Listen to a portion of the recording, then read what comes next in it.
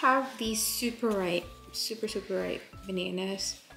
So I'm gonna make some banana bread today.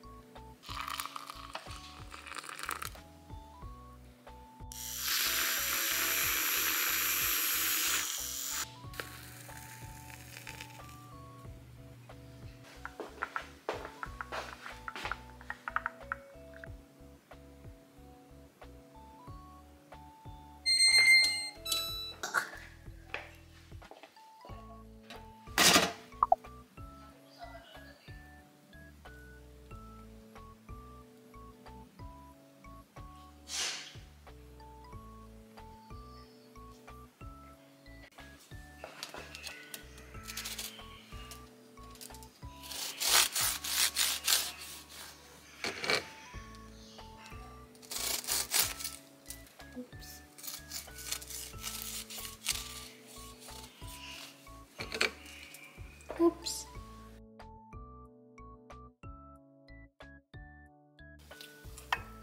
Mmm.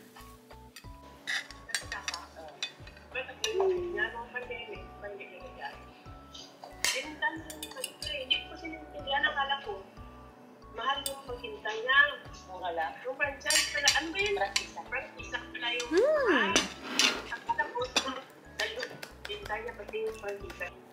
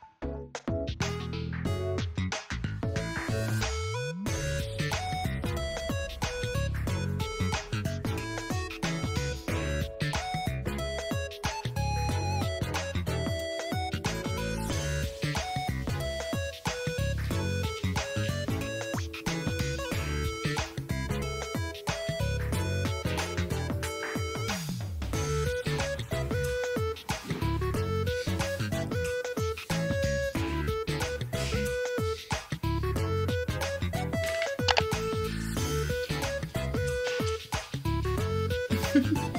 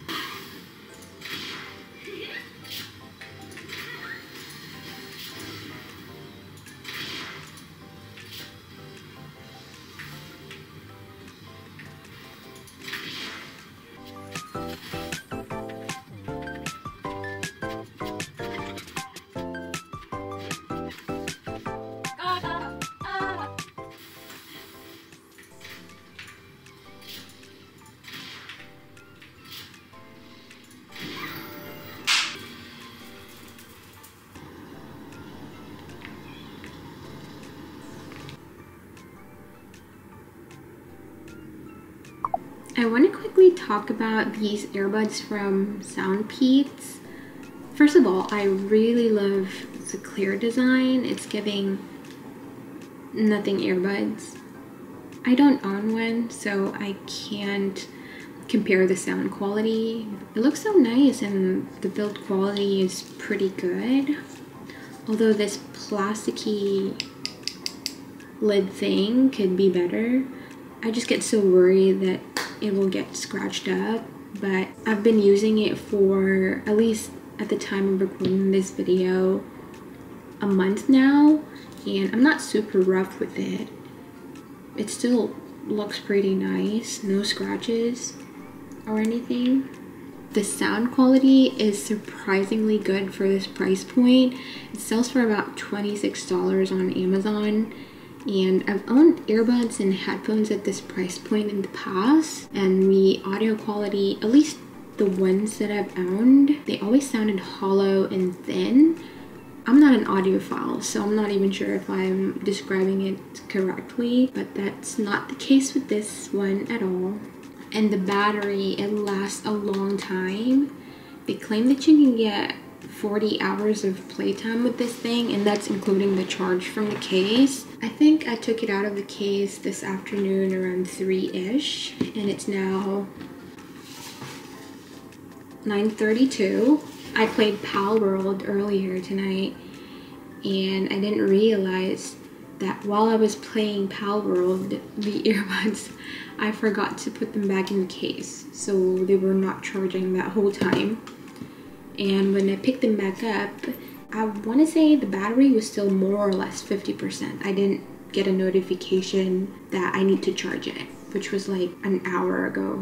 I will say though it's not very loud which is okay with me since the volume on my headphones doesn't reach 80 decibels ever. The only thing that will make this better in my eyes well in this case my ears is if these were noise canceling. If you're looking for an inexpensive earbuds that's still cute and very aesthetic, I think you'll like this one.